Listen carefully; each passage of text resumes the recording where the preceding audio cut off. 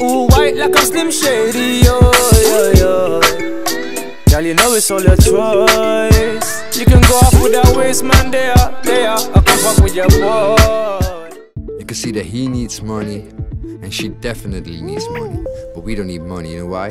We got extramodz.com, a fast and safe site that delivers money boosting and modded accounts. Check the link in the video to claim your discount.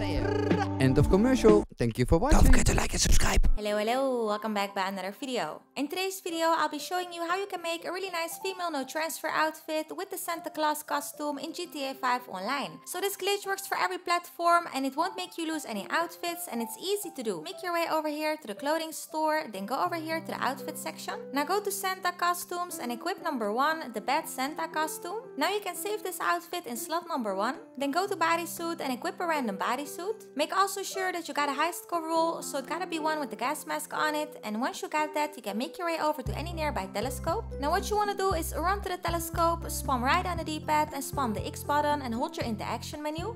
Then choose your first outfit and walk away. So now you can put on any shoes of your choice, so it really doesn't matter what kind of shoes you put on, but I think the boots look really good on it. So these are the red logger shoes, you can find these by the clothing store. Now resave this outfit in the same outfit slot, then make your way over here to the outfit section and choose the highest coverall. Now you can do the telescope glitch again. So just run to it, spawn right on the D-pad and spawn the X button and hold your interaction menu and choose your first outfit and walk away. Now what we're gonna do is make sure that the black t-shirt under it is gonna disappear. So it's gonna be kinda like a no bra outfit. So what you can do now is save the outfit in the same outfit slot. Then open up your interaction menu and switch between outfits for 20 seconds. Now open up your pause menu and start any mission of Rockstar created. So once you spawn into the mission, you should look like this, without the black top on and with the gas mask still equipped. Do you spawn differently, then you gotta restart your game and try again.